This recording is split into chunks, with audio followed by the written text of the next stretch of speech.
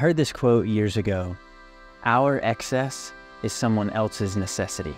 How do we use our excess in the community around us? For those who don't know, Clarkston is a refugee resettlement city, and it's the city in which Fresh Harvest lives and operates. And so our neighbors are actually people from all over the world. So because we're located in Clarkston, and because we have this awesome connection to the best locally grown organic produce, we started this thing called Share the Harvest. Literally a farmer's market at one of the apartment complexes down the road with people from all over the world coming to our little pop-up market and buying the same fruits and vegetables that come in customers' baskets. The cost of every item is highly subsidized by Fresh Harvest and by the support of our customers. So, how can you support this thing called Share the Harvest?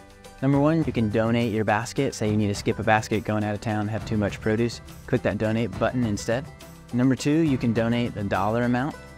Number three, you can just be a Fresh Harvest customer by getting a basket each week you're participating. When we first started this little pop-up market, we had no idea how many weeks even we would be able to do it. So the fact that we're here years later, still not only doing it, but ramping it up and expanding is all because of your support and the dependability of local food and the needs of others being met by that support.